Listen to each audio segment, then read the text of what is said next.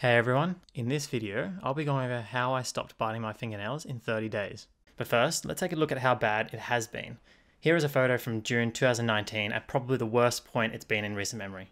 You can see visible signs of me biting not only my nails, but also my fingers. In the past I've tried lots of different methods to stop myself from biting, from bad tasting coatings, from using affirmations, trying to replace the habit with something else, visualizing what I wanted, using band-aids to stop myself from biting, an expensive hypnotherapy session, wearing gloves, and much more. However, nothing has really worked for me in the past. I thought I would go over very basically how habits are formed and methods to stop or change habits for the better. I'll be using my nail biting habit for a few of the examples, but you can apply this to anything you wish to stop or take control of. Put really simply, negative habits such as smoking, drinking, overeating, and nail biting can be formed as a coping mechanism brought about as a result of your life's circumstances.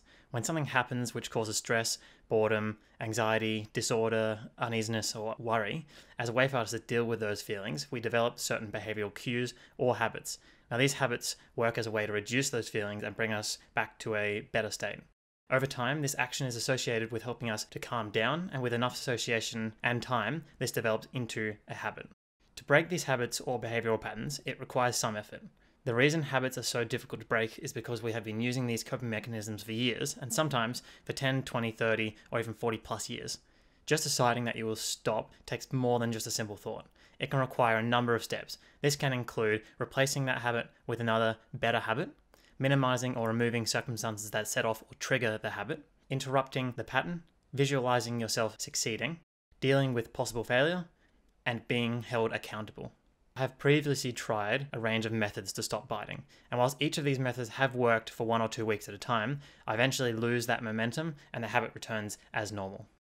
For this challenge, I'll be sticking to a plan for 30 days to stop biting my nails. I'll be using a number of methods simultaneously, as well as writing a day by day blog post of my progress.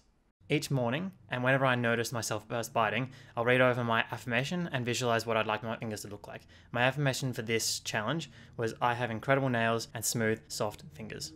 A few days before I started, I went to the chemist and got a couple of supplies. On the left, you can see that's Nail, that's the bad tasting coating.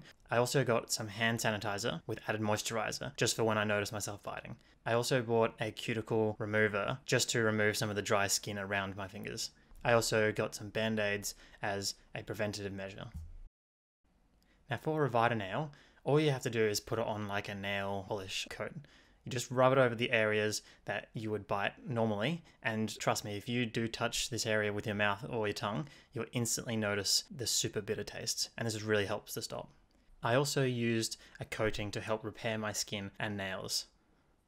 One of the best things I've been using is Vaseline gel, and this really helps to stop the fingers becoming dry. And then just put a small amount on each of the areas which I do bite, and then it lasts for the whole day and just reapply. I also used a more general purpose moisturizer for the cases when I'm not at work and don't have access to the Vaseline gel. In those cases where I notice myself biting and the gel and moisturizer isn't working, the next step would be to put band aids on, and this really helps just completely stop any sort of biting.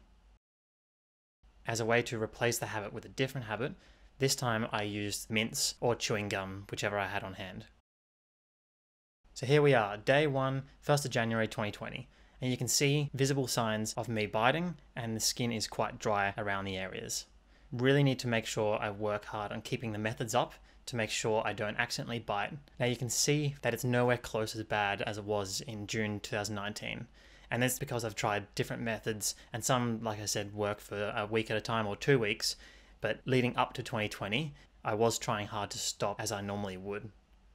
At day five, you can visibly see that my fingers are getting better and I haven't got so much redness around my fingernails. I stuck to my plan using all the methods I've mentioned and there wasn't a single case of biting. Day 10 and it's looking really good. You may notice that I've actually got nails now. Super happy with how it's going. I've been sticking really well to what I planned out. I also don't feel the pain around my knuckles as I did with day one. Because I've been recording a day by day blog, this has actually really helped with being accountable to the challenge and making sure this challenge stays at the front of my mind. Day 15, and it's getting even better. My nails are getting longer, and it was probably about that time that I cut my nails with nail clippers. And it's always a strange feeling to use nail clippers, as it's kind of that first case of knowing that I'm definitely succeeding and everything is going well. At day 20, I no longer have any areas that hurt because of my biting. My skin has healed up really well, and I'm always surprised at how fast my fingers bounce back from the years of biting. At day 25, my fingers and nails are looking amazing. We were out camping, and I couldn't help but to keep glancing down at my hands and nails and nosing how good they look. Super happy about my progress at this stage. My urge to bite my nails is pretty much gone, and I haven't had to use some of the methods that I started with, like the affirmations. Here we are at day 30 of not biting my fingernails. You can see that my skin has fully recovered and there's no longer any areas where there's dry skin or areas where you can see that I was biting. I no longer feel that urge to bite my fingernails when a stressful situation comes around. Looking at day 1 and day 30, there is a really big change that you can see. I have incredible nails and my fingers are smooth and soft.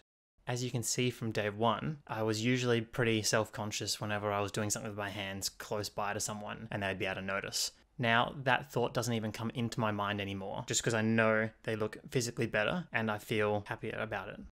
I successfully finished this 30 day challenge and didn't bite my fingernails or fingers. I just need to keep up the momentum and make sure that whenever I notice myself biting subconsciously, I follow the methods that worked for me and keep it going. Apart from the general methods to stop biting, I'd say that the most important for me this time around was documenting my progress every day. I definitely recommend giving this method a go, either on social media, keeping a journal, or by meeting up with someone you know and talking to them about it.